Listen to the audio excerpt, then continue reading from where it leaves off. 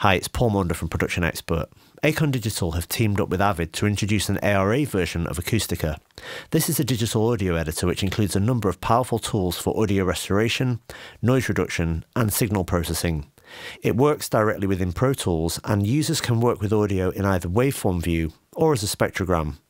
All Pro Tools users with an active subscription can access Acoustica Essentials, which provides some great functionality and processing such as declip, declick, and dehum, along with spectral editing, of course. But if you own Acon Digital Acoustica Premium, then you'll gain access to the extended feature set directly within this ARA version.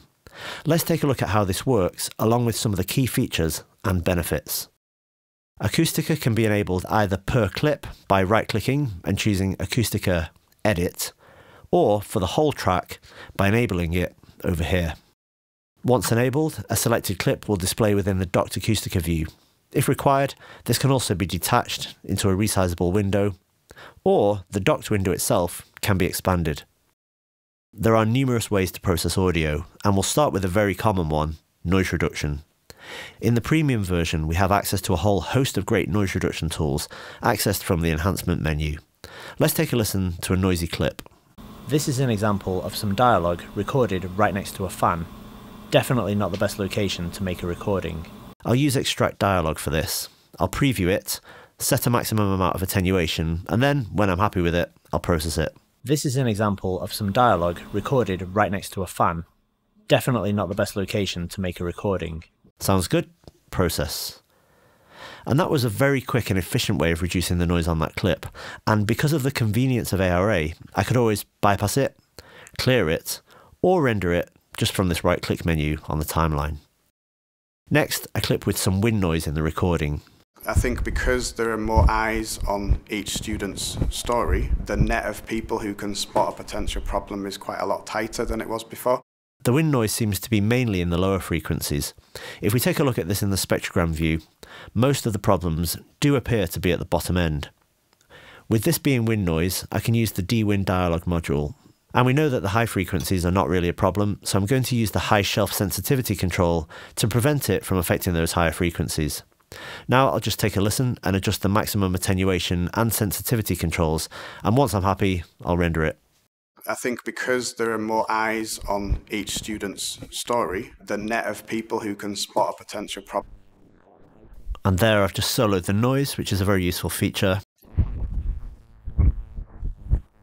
Story, the net of people who can spot a potential problem is quite and this is a great workflow for dialogue editors because it means that you have access to a range of tools directly within Acoustica in Pro Tools, and you can apply the processing you need quickly and efficiently. And there's a distinct advantage over Audio Suite processing in that you can revert back to the unprocessed audio in a much more convenient way just from that right click menu with the bypass option. Next, a piece of audio which is absolutely full of pops. Pops can be a problem in places where people pronounce plosives with no pop filter. In this case, I'm going to use the tool which I consider to be the absolute best pop removal tool in existence, Deplosive Dialog. Maybe I don't need 60 dB of attenuation, about half of that should be fine. Let's take a listen. Pops can be a problem in places where people pronounce plosives with no pop filter. Maybe even a little less than that. Pops can be a problem in places where people pronounce plosives with no pop filter. Just a couple of other adjustments. Pops can be a problem in places where people pronounce plosives with no pop filter. And just to demonstrate another feature, let's say I wanted to add some reverb to this. So I'd go into the effects menu and select reverb. This opens up Verberate 2, which is a very capable reverb plugin. If you're working on dialogue for post, sometimes you want to place dialogue or ADR into a believable sounding acoustic setting. Let's go into the presets menu, rooms, and maybe choose kitchen. Pops can be a problem in places where people pronounce plosives with no pop filter. And initially, this is just the reverb, but in this case, I'd like to keep the dry signal, but just add some reverb to it. So I'll activate the dry signal here, and then set an amount of reverb with this slider. Pops can be a problem in places where people pronounce plosives with no pop filter. Good, and once again, I'll process it.